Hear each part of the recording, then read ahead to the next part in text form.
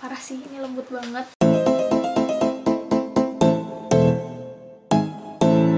Annyeonghaseyo, welcome to my youtube mau haul kemeja yang bisa teman-teman pakai buat kuliah, ke kantor, hangout sama teman-teman, atau sama keluarga juga bisa. Di video ini juga aku bakal mix and match atau ngasih beberapa referensi buat teman-teman yang bosen nih kalau pakai kemeja gitu-gitu aja modelnya atau stylenya. So, semoga membantu ya teman-teman. Seperti biasa, sebelum mulai ke haulnya, boleh dong aku minta ke teman-teman buat subscribe dulu channel aku dan jangan lupa nyalain lonceng notifikasinya supaya nggak ketinggalan video-video aku selanjutnya. Tada! Tuh, ada lumayan banyak nih. Kemeja-kemeja ini dari satu toko aja yaitu Best Ellen underscore dan teman-teman bisa cek tokonya di Shopee dan Instagram dan pengirimannya dari Kabupaten Kudus ya. Kita mulai ke kemeja yang pertama. Tada! Kalau misalkan teman-teman lihat Shopee haul aku sebelumnya, aku pakai kemeja ini. Ini tuh bahannya adem, terus lembut juga, aku suka. Karena ini bahannya Wolfish Zara dan di kerahnya itu modelnya bulat gini. Di bagian sininya ada mereknya Best Ellen. Ini kemeja tangan panjang, tapi buat teman-teman yang gak berhijab nih, kalau misalkan gerah pakai kemeja tangan panjang, bisa digulung. Tuh, karena ini dan ada talinya di dalam. Jadi tinggal dilipat aja. Nah ini kalau misalkan model tangannya digulung ya teman-teman Oh ya, ukurannya di sini tuh ada M dan L ya. Kalau M itu lingkar dadanya 90 sampai 92, kalau L itu lingkar dadanya 100 cm. Ini aku ambil ukuran L tapi ternyata kebesaran di aku. Jadi tangannya tuh agak kepanjangan. Nama kemeja ini adalah Ralin ya, teman-teman. Dan pattern di toko ini tuh atau motif-motif di toko ini tuh nggak pasaran karena mereka produksi sendiri. Kalau misalkan barangnya udah habis, mereka nggak akan produksi motif yang sama. Jadi teman-teman gak perlu takut bakal banyak yang nyamain motif kemeja kayak gini.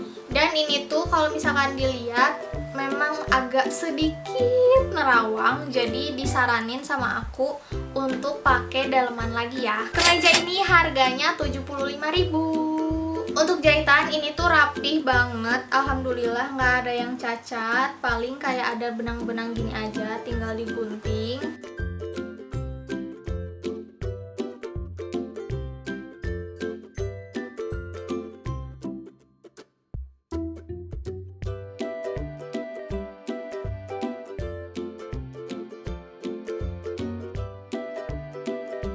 Lanjut ke kemeja yang kedua. Tada! Ini adalah kemeja raven, modelnya itu sama, tuh kerahnya itu bulat, terus di sini ada nama brandnya Best Ellen, tapi ini bahannya Max Mara Lux ya teman-teman. Jadi bahan yang mengkilat, tapi ini tetap adem dan lembut juga. Aku nggak ngerti lagi sini. Ini bahannya nggak nerawang ya teman-teman. Parah sih, ini lembut banget. Ini aku pakai yang size M dan alhamdulillah yang M-nya cukup di aku, nggak kegedean kayak yang L. Untuk jahitan seperti biasa ini juga rapih banget dan bisa digulung juga ya teman-teman tangannya. Harga kemeja ini 75.000 juga ya.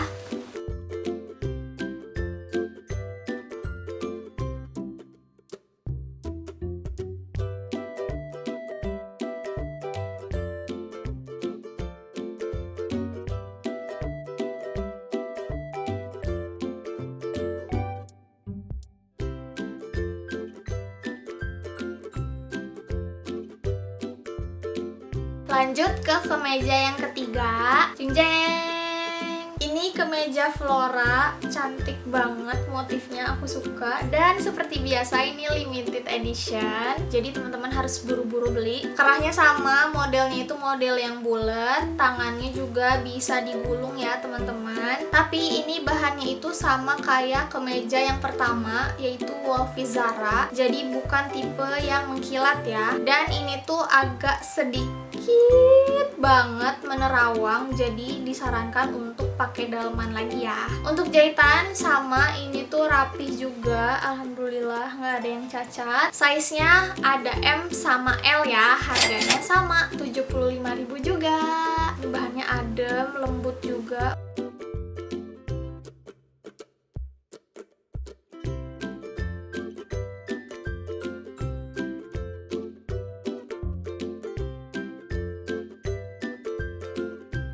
Berikutnya ke kemeja yang keempat. Tada!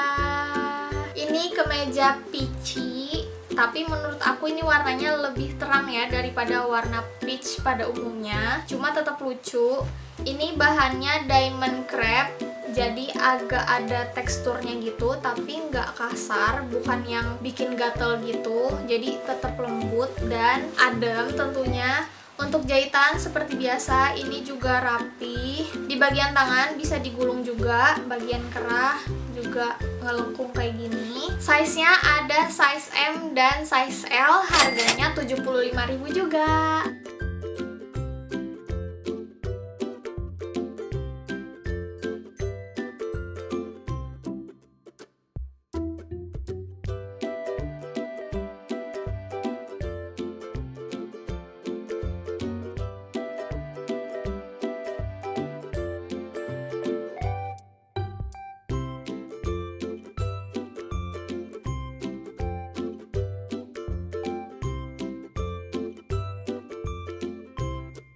Lanjut ke kemeja yang terakhir. Tada! Ini namanya kemeja greenish dan bahannya itu toyobo tebal. Terus ini adalah bahan yang paling aku suka di antara semuanya. Semuanya itu adem, lembut, tapi ini yang paling adem dan paling lembut, teman-teman. Enak. Terus modelnya itu beda sendiri ya. Jadi ini kerahnya itu kerah yang standar, jadi yang runcing gini. Dan kancingnya itu ada penutupnya kayak gini. Tuh jadi kancingnya itu ada di bagian dalam ini semuanya kancing hidup juga terus di bagian tangannya ini nggak ada kancingnya ya teman-teman jadi nggak bisa digulung nggak bisa ditaliin gitu terus ini nggak nerawang ini tebel jahitannya juga rapi ini size nya M. Pokoknya ukurannya sama ya M sama L. Aku belum ada nih baju warna hijau kayak gini. Kemeja ini harganya 75.000 juga